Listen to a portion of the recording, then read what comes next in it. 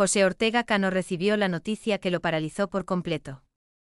José Ortega Cano tiene cero acercamiento con Rocío Carrasco.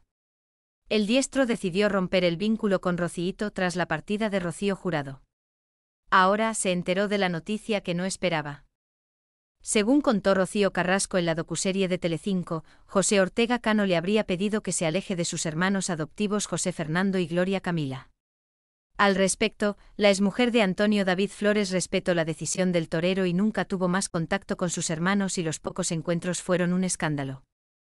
Ahora, después de tanto tiempo, José Fernando, el hijo de José Ortega Cano, rompió el silencio y sorprendió al diestro con una inesperada declaración que indica que desea amigarse con Rocío Carrasco. Sí, yo dejo la puerta abierta a un acercamiento porque siempre la he querido mucho. Espero que este año nuevo sea mejor para todos y se cumplan todos nuestros deseos. Sobre todo que tengamos muy buena salud, expresó. También el hijo del torero se ha mostrado amigable con Ana María Aldón y expuso que tiene un buen rollo con la exmujer de su padre.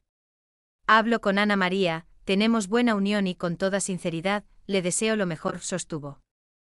El hijo de José Ortega Cano indicó que se encuentra bien, y está esperando que el centro de salud le entregue el alta definitiva.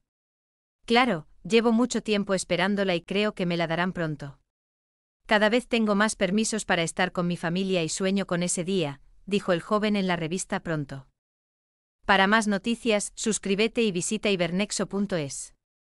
No olvides de ver más vídeos relacionados, dejando tu like y tu comentario. Hasta la próxima.